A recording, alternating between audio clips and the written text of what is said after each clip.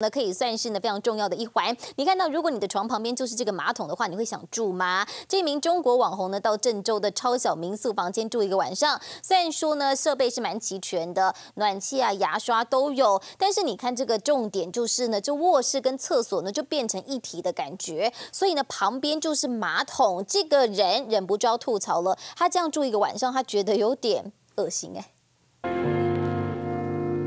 早上起床，伸伸懒腰，迎接美好的一天。可是仔细一看，怎么会有人睡在马桶旁边？睡着睡着，晚晚上要起夜，想上个厕所，哎，一个翻身儿，哎，咱就可以上厕所。坐在床上就能洗脸，只要稍微移动屁股就可以上厕所。如果想要体验这种超懒人生活，一晚只要大约新台币两百六十八元。这个房间咋说呢？也是配置齐全，有 TCL 的空调，有窗户。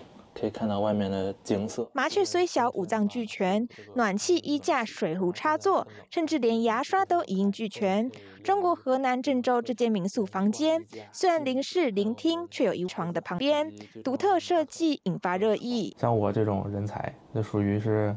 不能说是人才吧，就只能住在这种地方了。设计出来这个公寓的人，那他真的是太人才了，忍不住自嘲连发。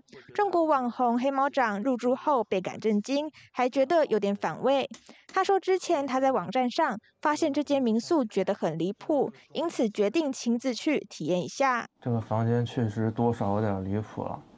郑州这儿也不是说什么寸土寸金的地方，真的会有人过来住吗？郑州的民宿已经贵得让人住不起了吗？民宿业者说，其实他们只是利用小空间，有没有人住都没有关系。而因为这附近正好有间医院，不少人只是来看医生住个一晚而已，并不是让人住长期的月租套房。记者综合报道。